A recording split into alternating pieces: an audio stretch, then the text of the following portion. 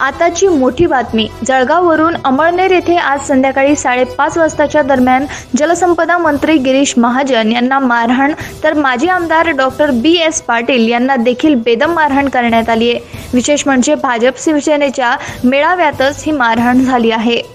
जळगाव लोकसभा मतदारसंघातील भाजपा महायुतीच्या मेळाव्यात भाजपा जिल्हाध्यक्ष उदय वाघ यांनी दबंगगिरी स्टाईलने माजी आमदार डॉक्टर बी एस पाटील यांना मारहाण केली. डॉक्टर बी एस पाटील यांना व्यासपीठाखाली उतरवा अशी उदय वाघ समर्थक घोषणा करू लागले व आक्रमक होऊन व्यासपीठावर उदय वाघ यांनी माजी आमदारांना लाथाबुक्क्यांनी मारहाण केली व त्यांना व्यासपीठावरून कार्यकर्त्यांनी खाली आणले.